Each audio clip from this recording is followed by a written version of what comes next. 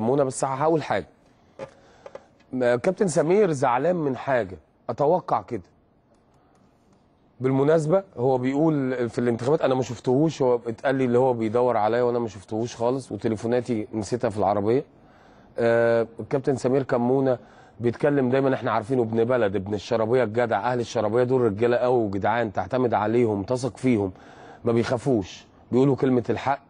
زي طبعا عشان ما يزعلوش مني أنا عارف لينا أصدقاء في السيدة رجالة السيدة و- ومبابة و... وكل حتة في مصر. أنا بخاطب كل الناس اللي في الحتة البسيطة لأن ده جمهور الكورة الحقيقي. أكيد طبعا أحترم كل الأهلاوية لكن لما بنيجي نتكلم الحتة الشعبية ليها معزة في قلبنا اللي هو تلاقيه أهلاوي وبيتعصب وبيزعل على الأهلي ويخاف على الكلمتين اللي إحنا بنقولهم دول تلاقيه بيفهم الناس افهم يا ابني انت وهو فبيعملوا كده. أنا بكلمكم لأن أنا منكم. وبتكلم باسم باسمكم يعني باسم الناس الطيبة الجدعان لأن كلنا خرجنا من الناس البسيطة وعشنا مع الناس البسيطة. عشان كده نعرف نعرف قيمة الاهلي أكتر وأكتر شوية.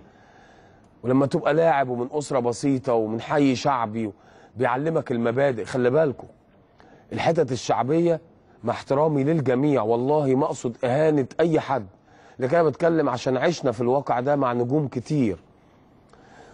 وسط ناس طيبة بيشجعوا الأهلي بشكل مختلف. وأنت قاعد معاهم بيبقوا فخورين بالنادي الأهلي. وأنت قاعد معاهم بيبقوا غي... غيورين على نجومهم و... ويحسوا إن النادي الأهلي ده ملكهم أكتر من أي حد. صدقوني أنا عارف أنا بقول إيه. ف سواء بقى كل الحتت ده مش معناها إن أنا بقلل من. من ال- الأكتر شوية وال... لا أنا ما أقصدش كده. أنا قصدي إن الناس دي همها بيبقى في الكورة فرحتها في الكورة زعلها في الكورة. ده ممكن يموتوا نفسهم. أنا أنا عرفت الماتش اللي الأهلي جاب فيه الجون حد مات في المنصورة واتصلوا بيا. البقاء لله لا أنا بعتذر اللي أنا نسيت لأن جا افتكرت دلوقتي جات لي مكالمة من المنصورة اتوفى حد عشان خاطر النادي الأهلي. بيقابلنا ناس وإحنا بتلعب يقول لك بص على والله أنا أنا عيب اللي أنا أقول كده بس لازم أقول. أنا لبسي كله أحمر الفانيلا الداخليه بتاعتي؟ بعد الخسارة من فيصلي حد مات. هو ده الجمهور الوفي. هو ده الجمهور الراجل. مش قاعد لي نايم لي يعمل صفحات يخترق بيها النادي الأهلي وفي الآخر يقول لك آه النادي الأهلي مش ده. إحنا ما بقينا زي ناس تانية. أنتوا اللي خليتوا الأهلي زي ناس تانية. فمن هنا هرجع لموضوعي. فكابتن سمير كمونة ابن الشرابية. ده أنا كنت بروح هناك وبكسبه طاولة على طول. ف... فقال لي إيه؟ من شوية. قال لك آه الأهلي قناة حصل فيها كذا. فأنا أفهم من خبرتي معاه اللي هو أكيد زعلان من كلام اتقال على القناة. وهنا للمرة المليون خد كلامي بلوره اضربه في خلاط جوه دماغك واطلع بالمنتج. ما تسمعش الكلام وتصدقه على طول. أنا النهارده لما عايز يبقى في عهد معاك عهد الحق. عهد الحق. فهتطلع تتكلم وتوضح للناس أمور كتير. فيبتدي يشتغل عليك القناة وهي بس الوحيدة اللي موجودة ومش هي الوحيدة معناها إن إحنا كدابين. ما الناس بذلت مجهود. من أول العامل البسيط في البوفيه لغاية أكبر واحد اشتغلوا بضمير وبعرق. انت كل واحد في حد بيتمنى الفشل واسم الأهلي موجود على على صدرك. اسم الأهلي. مش صورة حد. اسم الأهلي موجود على صدرك. تتمنى الفشل؟ لا عايز تنجح وعايز تشتغل. فأكيد الكابتن سمير جم- كمونة من وجهة نظري زعلان كمان من اللي اتقال اتقال على القناة. الأهلي قناته ملك أعضاء جمعيته العمومية وملك جمهوره و- وملك أي حد أهلاوي لكن مش ملك الز- الزملكاوية اللي بيشتغلوا فيها. أنا مصمم. هتقولي فلان الفلان زعلان؟ يزعل. فلان أنا أنا مش بقلل من حد لكن أنا مش عامل قناة عشان يقعد فيها حد تاني غير ده. أنا بكلمكم ودي بقى عندي بقى خط أحمر. ولو كلام بيتقال بيتداول أنا شفته هنا صدقوني مش هسكت. صدقوني مش هسكت لأن أنا معجون بمية الأهلي. أنا واحد ما بعرفش أتفرج في استاد. عشان زي زيكم بتفرج ببقى بغل ببقى عايز كل لعبة فيها جون وكل لعبة فيها رجولة وكل لعبة فيها جدعنة. أنا اتعلمت كده صدقوني. فمعجون بمية الأهلي. فمش هيجي حد النهارده يملى عليا اللي لعب وشقي وتعب. والحمد لله جيل كامل مع أجيال سابقة آه، وعارف قيمة الأهلي كويس قوي. فمش محتاج حد يعرفني هو مين الزملكاوي ومين الأهلاوي ومين الاسماعيلاوي لا أنا أقول لك. أنا أقول لك. فلما أقول لك هو فلان الفلاني كذا اسمع. ولما أقول لك فلان الفلاني ملوش وجود يبقى ملوش وجود. لأن 97 آه، أعرف مين بيغطي الأهلي كويس. وأعرف لما أقول لك الاسم ده تصدق وما تناقش. ما تناقش عشان أعرف قيمة الأهلي وبخاف على الأهلي زيك بالظبط.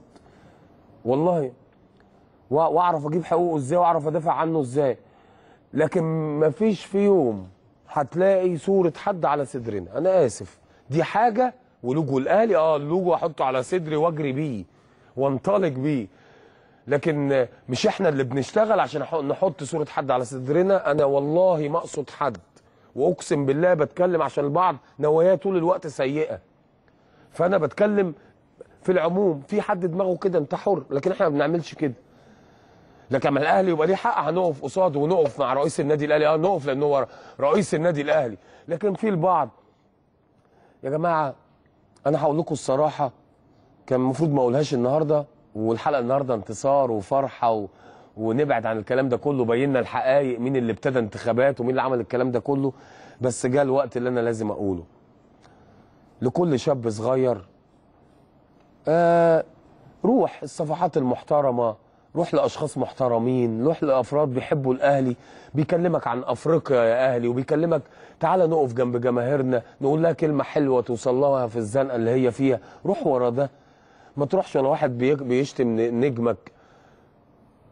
ده حسام غالي ده قبل ما يمشي بشوية كده يا راجل قالوا كلام وبعد كده مش عارف حسام غالي اللي بيحب الأهلي ومخلص وبيقاتل وكابتن النادي الأهلي. مع الناس دي شتموه طول ما في ابعد عن بطن الأهلي ووش الأهلي وحاجب الأهلي وكل حاجة أهلي وانت ما تعرفش حاجة عن النادي الأهلي أساسا. يقول لك صالح سليم وقسما بالله ده لو الكابتن صالح سليم عايش وحد لقى حد يتكلم باسمه والله يعلقه على باب النادي. ده ده بقاله ثلاث سنين ما دخلش النادي أساسا. ده في ناس ثمان سنين ده في ناس عضويتها 2000 جاية تعلمنا الاهلي ففي ناس كتير ناس كتير قوي تعبتنا. وأنا أنا بقول لكم أهو عارفين يا جماعة خلاصة الكلام. تقول لي social media أنا بتابع المحترمين. تلاقي ناس عمالة تبعت مش أساسا أنا مش موجود فما تقعدوش تبعتوا. عشان في في صفحات محترمة بقى تقعد تسمعها. بتقول أفريقيا يا أهلي أفريقيا يا أهلي. ادعم حسام البدري؟ عايزين أفريقيا السنة دي مع البطولات اللي خدناها تبقى سنة استثنائية في تاريخ النادي الأهلي. أنا بستفيد للأمانة وبتعلم منهم وبستشير زي ما بنروح للقانون وبنستشير. في شباب حد كان بيتناقش معايا عنده آه، 16 سنة عنده آه، آه، انفتاح ورؤية والله لازم أجيبه هنا أنا منبهر بأفكاره. هفاجئكم بيه منبهر بأفكاره. إزاي ما اسمعهوش ده؟ بيقول لي إحنا إحنا الأهلي يا كابتن شادي ما كناش كده. إحنا الأهلي عايزين زعلانين أحيانا من بعض ناس ما بتلعبش وقال أساميها. فقلت له أنا معاك بس أنا دوري قعدت أشرح له واصغر مني بعمرين. فقعدت أشرح له وأقول له الوضع واحد اتنين تلاتة أربعة. قال لي لا ده كابتن حسام يسانده ويلعبه قلت له أقنعتني عشان أنت ممكن تكون أصغر مني لكن أنت طلعت أحسن مني كمان. والحاجة الوحيدة اللي اتفق معايا فيها قال لي أنا أهلاوي أنت أهلاوي بثق فيك كمل في اللي أنت بتعمله. تخيلوا بقى بشنبات قاعدين يشتمونا.